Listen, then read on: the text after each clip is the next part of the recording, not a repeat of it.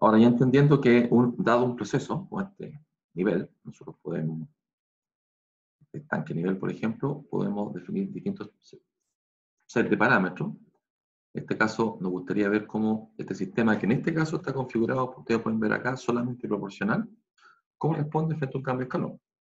Porque de distintas formas hacer un controlador. Puede ser P, PI, PID.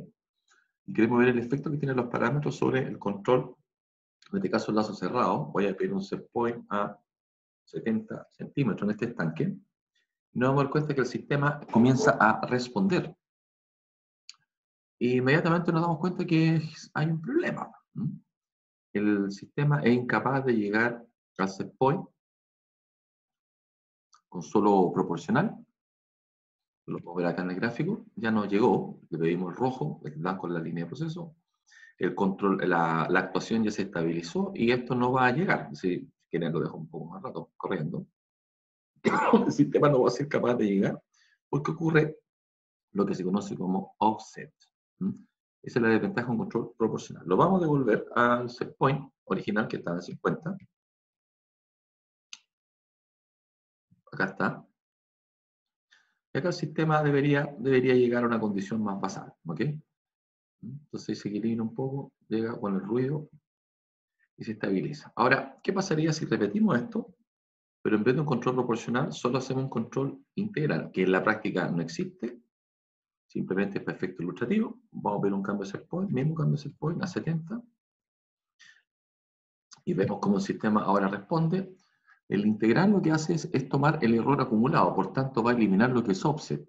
No obstante, al hacer esto, al hacer esta eliminación de error, ustedes se pueden dar cuenta que si sobrepasa el set point, puede generar un error acumulado, se empieza a equilibrar, pero la parte integral introduce oscilación, elimina offset, pero genera otro problema. Por tanto, cuando nosotros hablamos de sintonía de controladores, tenemos que tener claridad de que los parámetros tienen distintos efectos y obviamente dependen de cada proceso hasta llegar a condiciones, eh, condiciones eh, de inestabilidad. Siguiendo un poco la línea y para cerrar esta, esta parte, me voy a ir a un controlador ahora que sea eh, un controlador PID.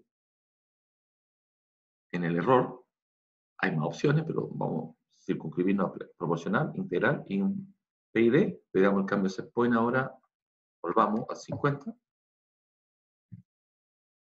Y si se dan cuenta, ahora el sistema responde eh, con el, la parte integral, se pasa un poco, se pasa menos acá, se alcanzan a ver acá, y va a llegar a su set point sin ningún problema, sin offset y sin sobre oscilación, que era el caso anterior. Vamos a llegar a 70, a efecto de comparar, 70 y 50. Aquí de nuevo, el sistema, fíjense que se va a pasar un poco, ese, ese paso sobre el set point se llama overshoot, y dependiendo de alguna condición, ustedes podrían querer, querer un sistema sin overshoot, caso de un reactor químico, por ejemplo. Pero aquí claramente nos damos cuenta de que la respuesta es muy distinta, ¿cierto? Cuando se trata de un sistema en PI. Y eso es lo que vamos a hacer. Vamos a tomar un proceso, vamos a sacar los parámetros o una metodología. Sistemas complejos, da lo mismo. Vamos a buscar parámetros. Vamos a probar los parámetros con el lazo cerrado frente a cambio de set point y luego em, em, vamos a sintonizar, que es un ajuste un poco, un poco más, más fino. Eso es lo que vamos a hacer